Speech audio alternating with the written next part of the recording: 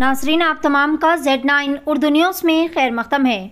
Bridge के ऊपर से सैलाबी तेज मौसलाधार बारिश के सबब रेला बहने से एक बाप और बेटी पानी में बह जाने का खदशा।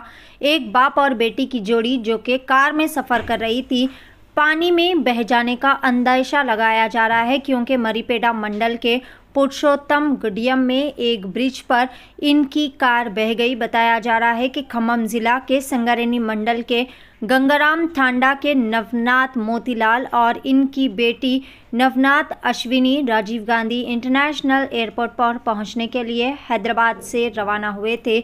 दोनों ने अपने दोस्तों और घर वालों को फ़ोन करके बताया कि इनकी गाड़ी पानी में बह गई है और पानी इनकी गर्दनों तक पहुँच चुका है। बाद में इनके फ़ोन भी बंद हो गए और गाड़ी भी नहीं मिल रही है, जिसकी वजह से अफराद ख़ानदान में दोनों की हिफाजत को लेकर खौफ व हरास फैल गया। जैसे ही नेली कुदवूर मंडल के रावेला गाँव में टैंक समंदर में तब्दील हो गए, सैलाब का पानी घरों में दाखिल हो गया और बहुत सारे ख़ानदान छतों पर रहने पर मजबूर हो गए और मदद के इंतज़ार में हैं।